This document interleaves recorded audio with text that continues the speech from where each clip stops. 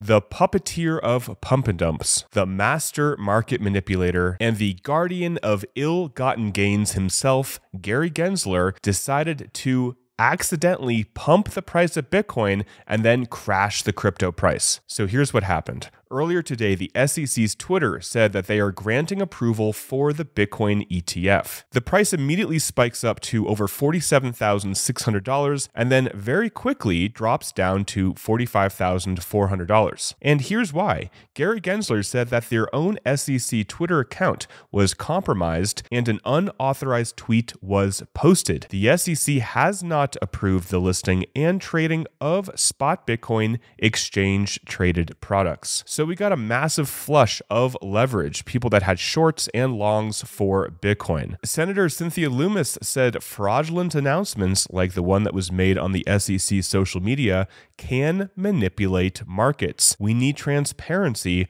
on what happened. Jack Dorsey, the ex CEO and founder of Twitter, said no way that was a hack from the SEC's Twitter account. Just a few months ago, the SEC said on their Twitter account, careful what you read on the internet. The best source of information about the SEC is the SEC. Clearly, though, not the SEC's Twitter. We had Elon Musk over at Twitter today confirm that this was indeed a hack and the SEC Gov Twitter account was compromised. But it was not due to any breach of X's systems, but rather due to an unidentified individual obtaining control over a phone number associated with the SEC Gov account through a third party. They say we can also confirm that the account did not have two factor authentication enabled at the time the account was compromised. So we have the master of financial security Gary Gensler, the SEC,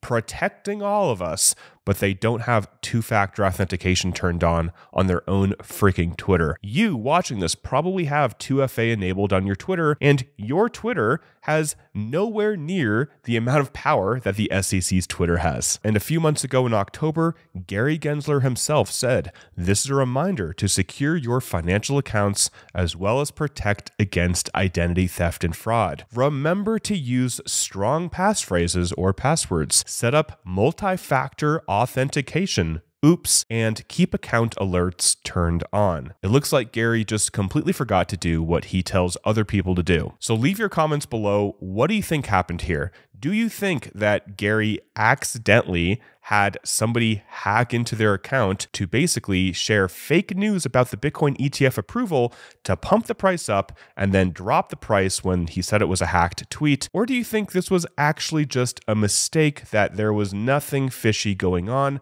Leave your comments below what you think.